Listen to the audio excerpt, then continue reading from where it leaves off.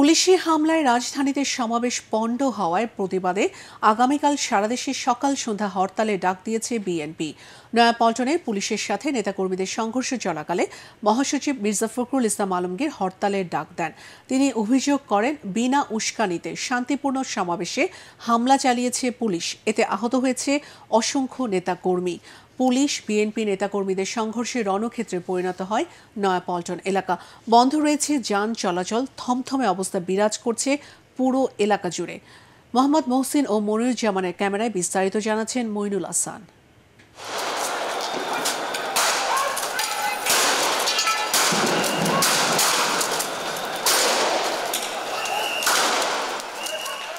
সংঘর্ষের সূচনা হয় কাকরাইল মোড় থেকে। দুপুরে কাকরাইল নাইটেঙ্গেল মোড় এলাকায় পুলিশের সাথে সংঘর্ষে জড়ায় বিএনপি নেতাকর্মীরা। টিয়ার সেল রাবার বুলেট ছুড়ে বিক্ষুব্ধদের ধাওয়া করে পুলিশ ইট পাটকেল ছুড়ে পাল্টা জবাব দেয় বিএনপি কর্মীরা। কয়েক ঘণ্টা ধরে চলে সংঘর্ষ ধাওয়া পাল্টা ধাওয়া। কাকরাইল মোড়ের সংঘর্ষের রেশ এসে পড়ে নয়াপল্টনে বিএনপির মহাসমাবেশে। বিক্ষুব্ধ, আতঙ্কিত নেতাকর্মীদের কয়েক দফা শান্ত করার চেষ্টা করেন বিএনপির নীতি নির্ধারকরা। টিআর সেলে টিকতে না পেরে রোববার সকাল সন্ধ্যা হরতালের ডাক দিয়ে মঞ্চ ছাড়েন বিএনপি মহাসচিব মির্জা ফখরুল ইসলাম আলমগীর। সরকার আজকে পরাজিত হয়েছে সেই কারণেই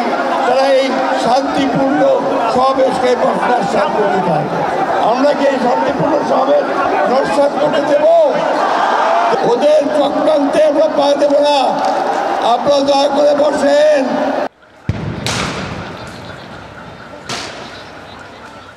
ধীরে ধীরে কাকরাইল আর অন্য প্রান্তে ফকিরের পুল থেকে নয়াপল্টন কেন্দ্রীয় কার্যালয়ের দিকে এগোতে থাকে police. Sound grenade, tear shell, rubber bullet ছুড়ে নয়াপল্টন সড়ক এক পর্যায়ে বিএনপি নেতাকর্মী শূন্য করে দেয় পুলিশ।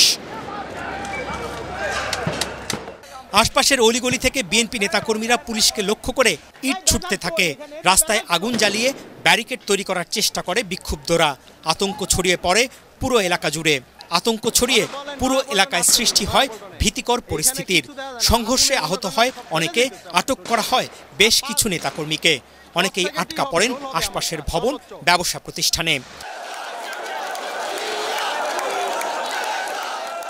এর আগে পথে পথে বাধা, নানা শঙ্কা পেছনে ফেলে পরিবর্তনের আকাঙ্ক্ষা নিয়ে নয়াপল্টনে হাজির হন বিএনপির লাখো নেতাকর্মী।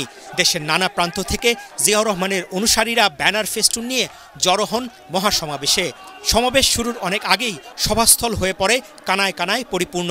ক্যামেরার চোখ যত দূর যায়, তিল ধারণের ঠাঁই ছিল না, ফকিরের পুল থেকে কাকরাইল ও আশপাশের সড়কে মূল সড়ক ছাপিয়ে অলিগলিতে ছড়িয়ে পড়ে জনস্রোত। সমাবেশে সরকারের তীব্র সমালোচনা করে বিএনপি নীতি নির্ধারকরা বলেন রাষ্ট্রযন্ত্র ব্যবহার করে ক্ষমতাকে দীর্ঘস্থায়ী করতে চায় সরকার। তবে এবার জনগণ তাদের আর সেই সুযোগ দেবে না। হয় হাসিনা থাকবে নয় খালেদা জিয়া থাকবে।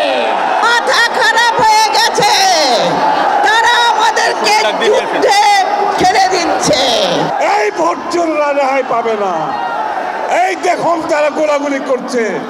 আজকে শান্তিপূর্ণ জনসভায় গোলাগুলি করে, গ্রেফতার করে বাংলাদেশের মানুষের গণতান্ত্রিক অধিকার, সাংবিধানিক অধিকার, রাজনৈতিক অধিকার তারা কেড়ে নিতে চাচ্ছে। এরা কারা? এরা ভোট চোরদের অংশীদার।